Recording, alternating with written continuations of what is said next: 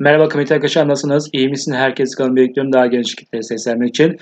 Gaddar 7. bölüm konuşacağız. Leyla ve Dağ'ın tanışmasını anlatacağım. Evet, e, Leyla ve Dağ tanıştılar, güzel vakit geçirdiler. İlk öncesinde ne oldu? E, sokakta e, çocuk var, çocuğun elinde bir kedi vardı. Durumu ağırdı. Dağ'ın bu e, durumu gördü ve veterinere götürdü. Veterinerde Leyla ile tanıştı. Güzel, hoş sohbetten sonra Leyla Dağ'ını evi bırakmak istedi. Tabii ki e, sokaktaki kedileri beslediler, iyi vakit geçirdiler. Yani güzel bir e, arkadaşlık kurula. Peki bu arkadaşlık aşka dönüşür mü? Çok önemli gelişmeler olacak olacak. Çünkü arada bir kıskanç krizi çıkacak. Çünkü Ay'dan özellikle dağdaki bir, e, değişikleri gördü. Hem Kurt da dağdaki ilişki değişikleri gördü ve gülmeye başladı Dağın. Evet Dağın Leyla son saniyeni izledik cenaze sahnesini gerçekten Dağın orada şok oldu arkadaşlar. Çünkü evet öldürdüğü doktor Leyla'nın babası çıkması gerçekten ve gerçekten çıkılmaz bir yol. Peki müdür bu durumda ne yapacak? Çünkü müdürle Dağın bu konuda çok sert tartışmalar izleyeceğiz.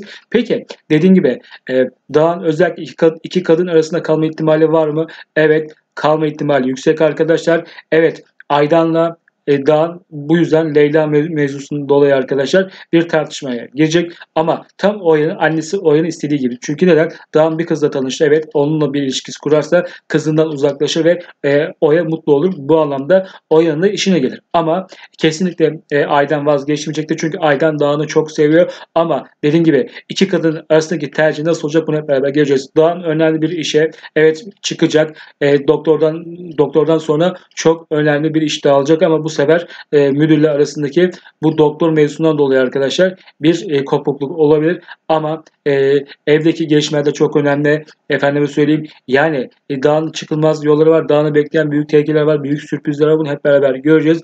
Ama Leyla ile ilk tanışması güzeldi. Bu tanışma ileri dönük bir arkadaşlığa dönüşebilir ve özellikle beyaz bir sayfa bir ilişki açabilirler arkadaşlar.